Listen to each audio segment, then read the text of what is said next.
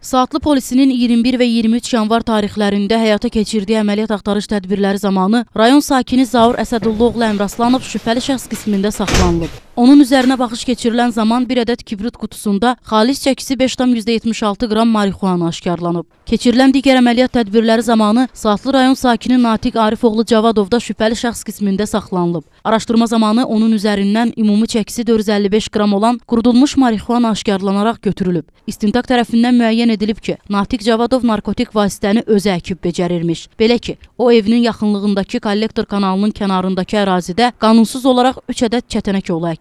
7-8 ay kollara agrotexniki qulluq etdikdən sonra əldə etdiyi kütləni qurudaraq narkotik vasitə olan marixuana hazırlayıb. Əmraslan Uzar Əsədullaoğlunun Azərbaycan Respublikası Cinayət Məcəlləsinin 231-ci maddəsi ilə təqsirləndirilən şəxs qismində cəlb edilmiş. Bundan başqa Cavadov Natiq Arifoğlu Azərbaycan Respublikası Cinayət Məcəlləsinin 234-1-ci və 237-1-ci maddəsi ilə təqsirləndirilən şəxs qismində cəlb edilmiş. Hər ikisi şəxsin barəsində Saatlı rayon məhkəməsinin qərarı ilə həbs qəti imkan tədbiri seçilmişdir.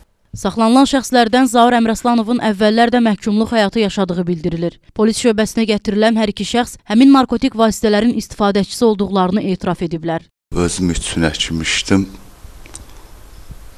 Əməlimdən peşmanam. Dedilər nədir bu? Dedim özüm üçün istifadə eləyəcəkdim. Hə, hə, işte.